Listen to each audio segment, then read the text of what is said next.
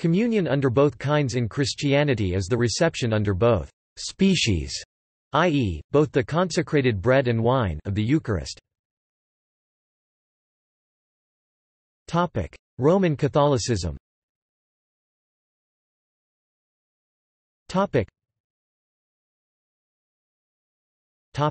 Doctrine.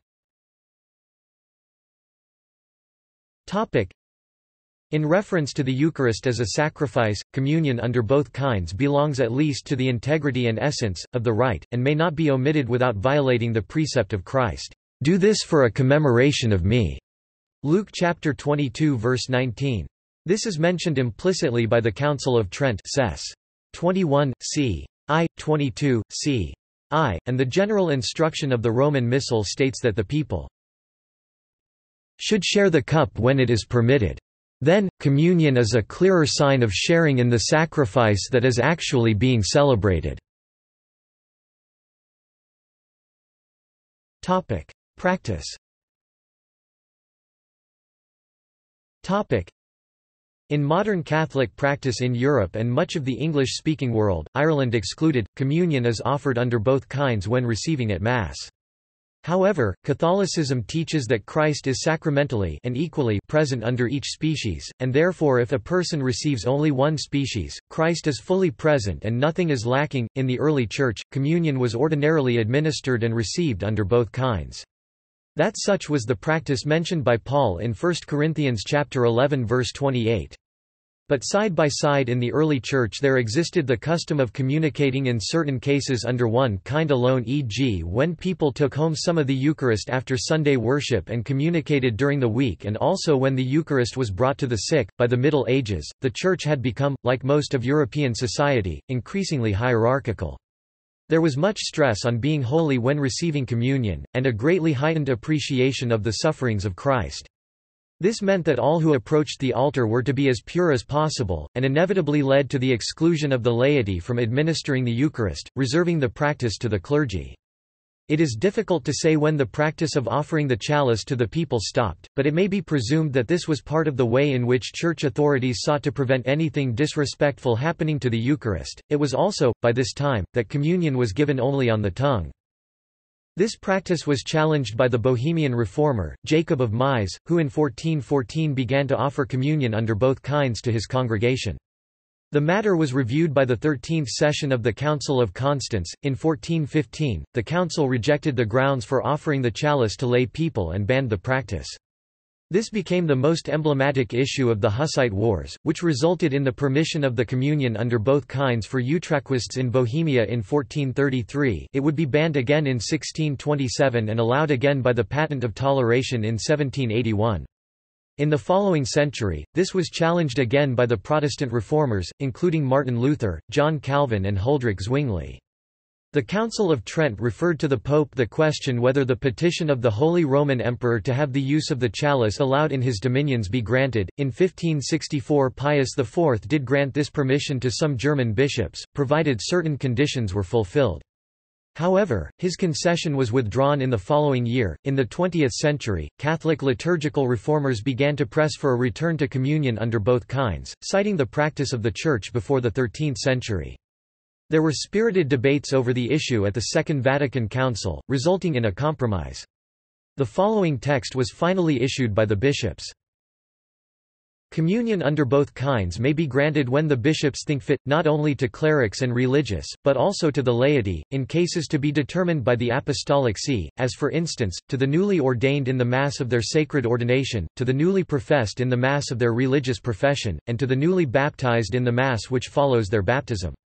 Regular use of communion under both kinds requires the permission of the bishop, but bishops in many countries have given blanket authorization to administer Holy Communion in this way. In the United States, the Notre Dame study of Catholic parish life showed that by 1989, slightly less than half of the parishes in its survey offered the chalice to their congregations. Eastern Orthodoxy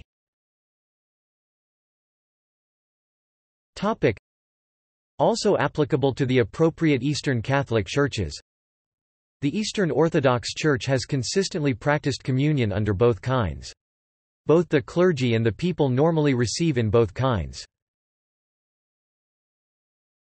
Topic: Doctrine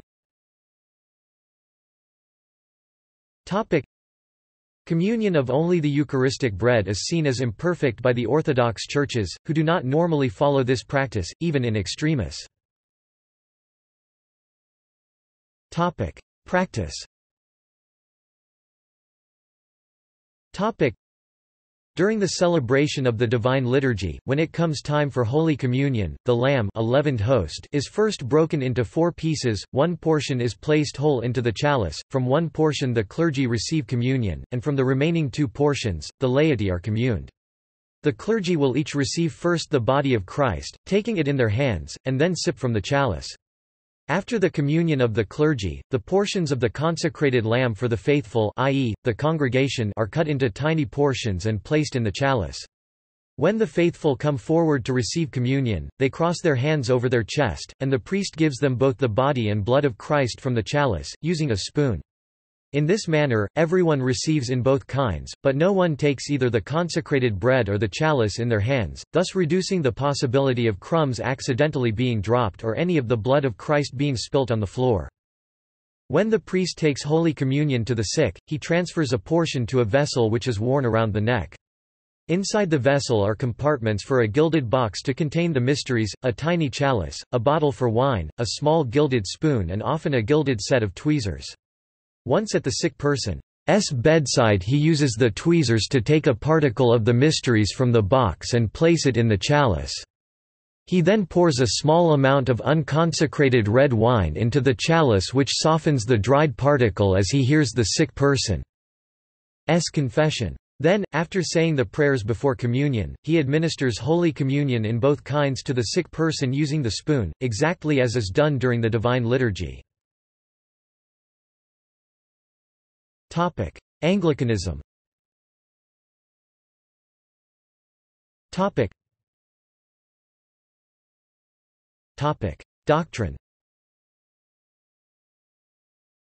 Topic.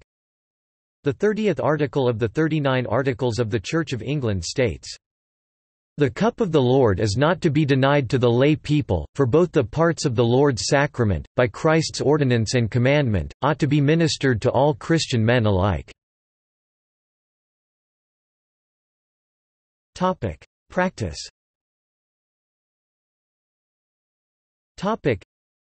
in Anglican liturgy, the bread typically in wafer form is administered by licensed clergy into the cupped hands of the communicant, usually kneeling at the altar rail.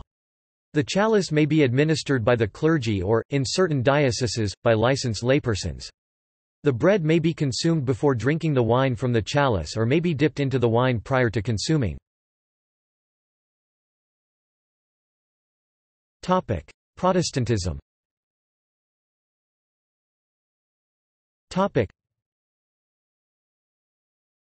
Topic: Doctrine. Topic. Communion under both kinds for the whole congregation was a central issue for the Protestant reformers, since they believed that it had been specifically commanded by Jesus at the Last Supper.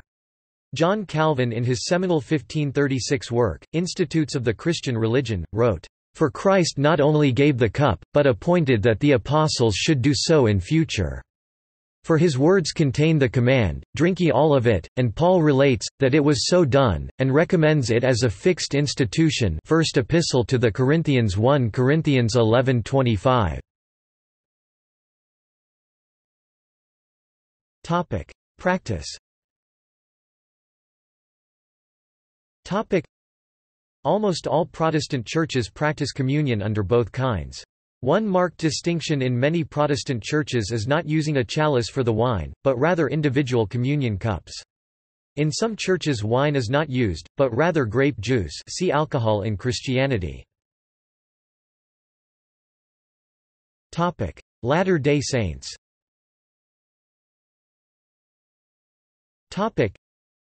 In the Latter-day Saint movement communion is taken under both kinds, similar to Protestant usage. As originally practiced by the Latter-day Saint movement founder Joseph Smith and other early Latter-day Saints, the sacrament included the use of fermented wine. At this time, the common practice of the Latter-day Saints Church is to have communion with bread and water and not to involve wine or grape juice. See also